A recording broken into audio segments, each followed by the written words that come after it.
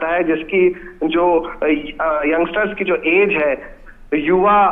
युवाओं की जो उम्र है, वो हमारे पड़ोसी देश चीन से काफ़ी अधिक है, क्योंकि चीन जो है हम जानते हैं कि वो एक ताकतवर देश है, लेकिन उसके साथ साथ वो एक बूढ़ा होता हुआ देश है, जिसकी यंग फोर्स हमारे मुकाबले काफ़ी कम है। तो ऐसे में जो 25 साल है 25 साल काफ़ी है भारत के लिए। और अगर हम सरदार वल्लभ भाई पटेल के उस इच्छा शक्ति को उनके